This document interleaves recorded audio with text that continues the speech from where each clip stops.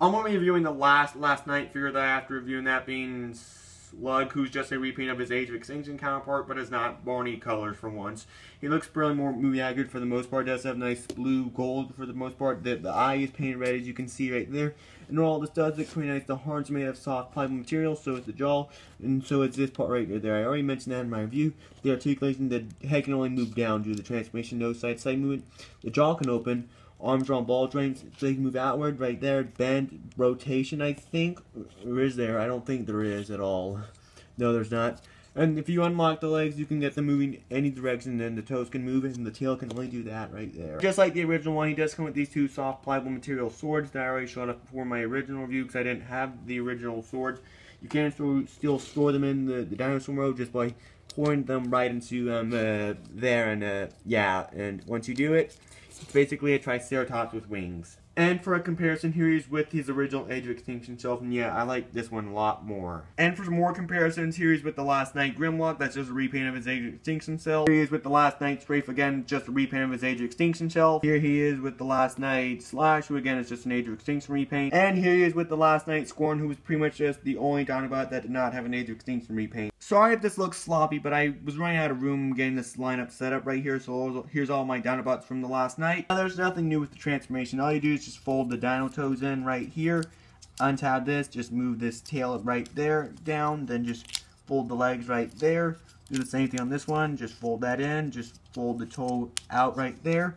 Untab these parts and untab the dino head. If I can, just split it all apart right there then just fold out the hands. There's a problem I have with the hands. Just I'll get to it later on. Just close that back up.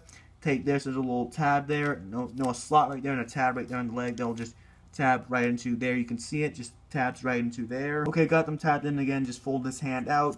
Close this back together like so. For the dino head, you just want to move these two panels in. This one's a little bit loose on mine. Just move the dino heads down.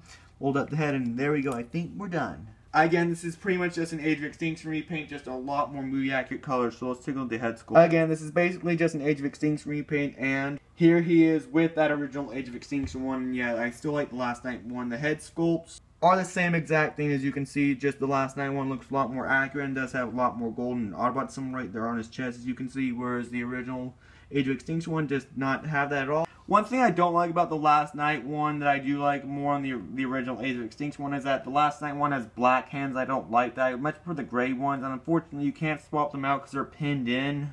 As you can see, the, the from the legs down it is pretty much the same. As well as the sides and the backs of these two figures. He can still hold the swords pretty nicely. They just fit right into those 5 millimeter pegs. They just fit in there nicely, as you can see, and he can hold them pretty nicely for the most part. I think he's standing about 5.5 inches tall, maybe 4.5 inches tall. And for some comparisons, here he's with the Last Knight Grimlock. Here he is with the Last Knight Strafe. Here he is with the Last Knight Voyager Class Scorn. Here he is with the Last Knight Slash. And here's all the Last Knight Dinobots right there. Here he is with the Last Knight Voyager Class Megatron. Here he is with the Last Knight Barricade. The Last Knight Berserker. Here he is with the Last Knight Squeaks. Last Knight Drift.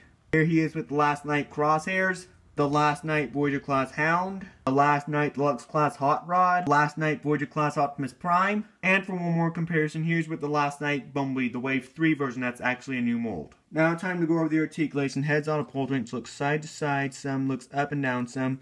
Arms can move a full 360 on ball joints. I don't know if they do move outward. Bicep rotation at the elbow elbow bent. All you get at the wrist is the transformation joint right there.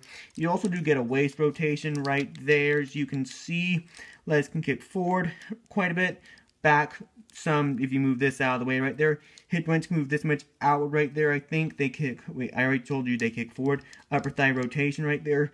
A pretty good knee bend. It's kind of double jointed if you use the transformation joint. And all the toes can do is just move up and down, do the transformation. So that's all I have for my review on the Last Knight Slug. Goodbye.